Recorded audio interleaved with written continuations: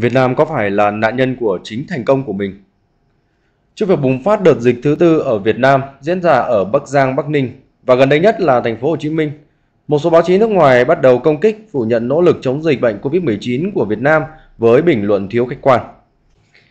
Ngày 15 tháng 6 năm 2021, trang Dilomet bình phẩm rằng Việt Nam đang rơi vào tình trạng khó khăn bất thường với sự gia tăng các ca nhiễm COVID-19 mới và tỷ lệ tiêm chủng thấp nhất Đông Nam Á, rằng Việt Nam là nạn nhân của chính thành công của mình. Do tỷ lệ lây nhiễm thấp như vậy nên Việt Nam đơn giản không khẩn cấp theo đuổi vaccine dù đã ký hợp đồng cung cấp vaccine nhưng đã nhập cuộc tương đối muộn và tụt hậu xa.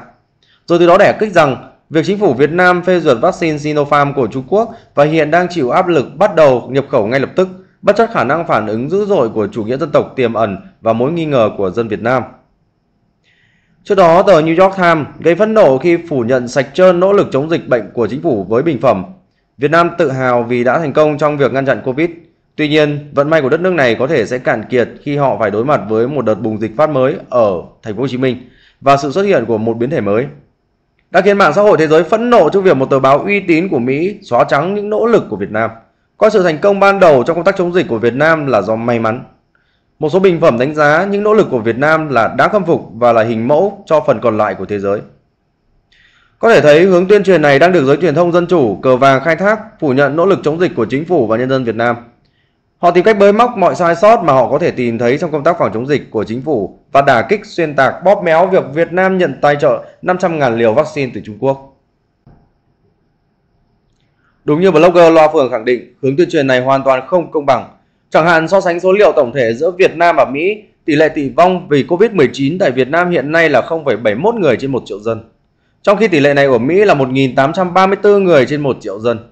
Con số này đủ để thấy các biện pháp mà Việt Nam chủ trương tiến hành ngay từ đầu giống như đeo khẩu trang, phong tỏa ổ dịch, truy dấu nguồn lây đã thực sự bảo vệ cuộc sống của người dân chứ không hề vô ích hay may mắn.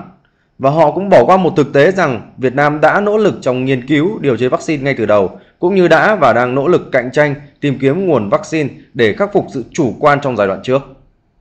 Thêm nữa, hướng tuyên truyền này tỏ ra rất vô trách nhiệm với tính mạng của người dân, trong khi họ đả kích công tác phòng chống dịch của Việt Nam là may mắn hay vi phạm nhân quyền và kích động những người dân chịu thiệt hại vì giãn cách xã hội. Họ không nêu bất cứ cách nào để có ngân sách và nguồn vaccine cho những nước đang phát triển như Việt Nam trong cuộc chiến ngoại giao, chính trị, vaccine COVID. Nếu ngay từ đầu Việt Nam cũng giống như Lào, Cam hay bất cứ nước nào chấp nhận nguồn vaccine từ Trung Quốc, hẳn tốc độ tiêm giờ đã khác, đồng nghĩa với việc Việt Nam chấp nhận quy luật thuận lợi và nhận được nhiều lợi ích từ chính phủ Bắc Kinh trong khi Việt Nam còn đang tranh chấp chủ quyền trên biển. Hẳn nếu nghe những lời theo hướng tuyên truyền này thì chính phủ Việt Nam cũng nên chấp nhận lệ thuộc vào phương Tây để được ban phát vaccine và giờ đây Việt Nam bị chê chậm thất bại vì không chấp nhận hướng quy thuận nào. Thực tiễn, các nước đang tiêm vaccine mạnh nhất thế giới thì tốc độ nhiễm bệnh và tử vong từng ngày